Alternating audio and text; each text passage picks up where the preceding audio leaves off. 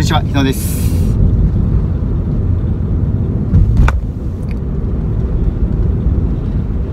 まあ、前回あの風知についてね少しお伝えしていたんですけれども、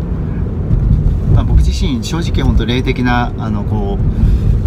う能力ないですし霊的なその感性っていうのも、え、こう何か感じるものっていうのもあの正直ないですし、まあ、見たこともないとそういう霊霊体というのかだからまあ、まだまだねこう勉強不足な点があるんですけれどもでも、まあ、いろんな本を読んでるとや日常的にそういう霊的な側面目に見えない部分っていうのは、えー、いろいろ影響してるんじゃないかなっていうことが、まあ、見えてくるんですよね。でまあ、その中でも、まあ、よくこう憑依とかいろいろ言われてますよね。憑依とか、まあ、生き量とか。でそういうのも、うんまあ、影響してる人には影響してるだろうしただそれのせいだけにしてしまうのも結局問題じゃないかなって思うんですよね。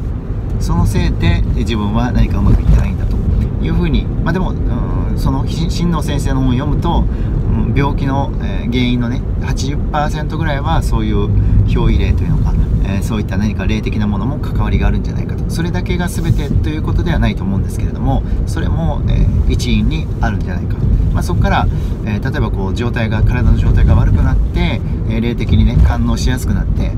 え、憑依されてしまうとかだから、まあ、体の状態とその霊的なものって連動してますから、まあ、状態を良くする体の状態を良くするっていうのも非常に大事でしょうし、えー、まあ、そういったことを見ていくとあの霊的な部分っていうのは、うん、まだまだねこう僕自身も知らない部分まだこう未知の部分っていっぱいあるんですけどだから、えー、知識としてねこう学んでいきたいなっていうのもあるんですよね。ただ間違った、えー、こう教えというのか、えー、まあ、憑依を取りますとかね。なんかそういう霊的な部分を商売にして、えー、またこうおかしな方向に行ってしまうのもまた、うん、どうなのかなとも思うし。そこら辺はちょしっかりしたとこで学んでいく必要があるんじゃないかなって思うんですよね。で、まあ、その、えー、霊的な部分あ憑依憑依っていうのね、まあ、これもうん、実際そういうのがあるんだなっていうことで僕自身その真能先生のテレヘルツの書籍があってその中でいろんなこう憑依があるっていうようなことがあの書かれていて、まあ、それはあの風知でこう調べていろいろ分かってきたそうなんですけれども、まあ、そういうのを見てると、うんまあ、やっぱりそう見えない存在の関わりっていうのはね、え関与っていうのは、うん、なきにしもあらずというか、まあ、実際あるんだなと。結果結構大きな側面を占めてるんだなっていうことが、まあ、分かるんですよね。でだから、まあ、ちゃんとした知識が必要だなと思いますし、えー、そのために僕自身ちょっとねこう学んでいきたいなと風知も学んでいきたいなっていうのも実際、えー、ありまして、まあ、今度学んで学んでくるんですけれども、まあ、そういうので、えー、霊的な部分で、え一番その霊的な部分で結構影響いろいろこう僕も検索して見てるとその生き量っていうのは結構大きなウェイトウェイトというかパワーというのかあの結構大きなウェイトを占めるそうなんですよね。だからその辺りが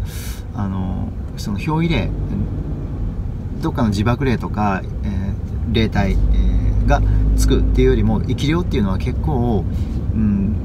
強いみたいなんですよね。まあなんせ生きてる人が、え、やってるわけですから出してる飛ばしてる。でその飛ばしてる人も、え、意識してないんですよね。当然ですよね。自分で飛ばそうと思って飛ばしてたら、まあ、それはある意味怖いですけどもでも自分が意識しないところで、えー、それが飛んでしまう。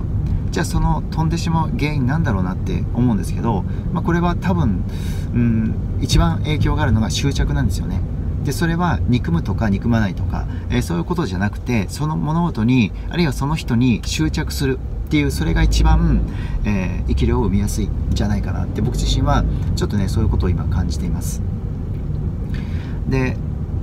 まあ、実際そう風知にちょっと聞いてみたりしても、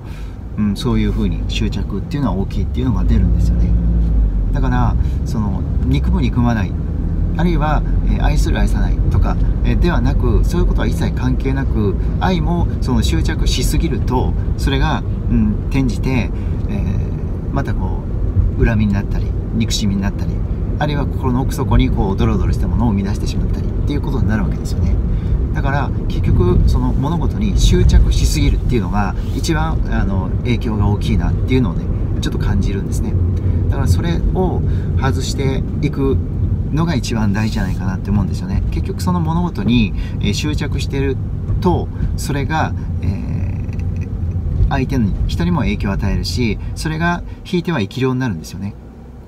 だからその執着っていうのを外す。まあ物事何でもそうだと思うんですけど執着しすぎるとうまくいかないってありますよね。あるいは執着しすぎるとかえってそこに絡み取ら止まれ、えー、絡み、えー、取られてしまうと